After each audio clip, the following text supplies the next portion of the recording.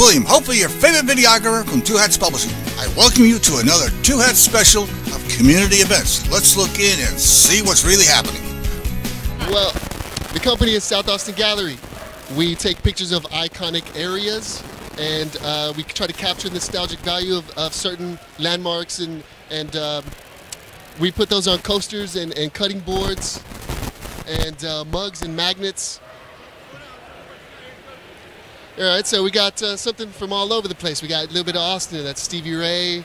Uh, you know, we got uh, this is going to Waco, a Dallas manhole, uh, Granada Theater. You know, so depending on the area, that's kind of what we try to pertain to. But we have many pictures over state, different states and cities. The eyeball downtown. That's right. Yeah.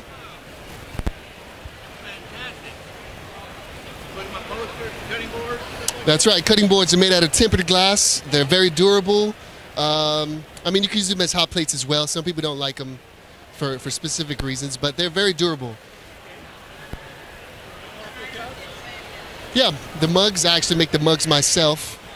Um, everything you see here is, is done with a process called dye sublimation.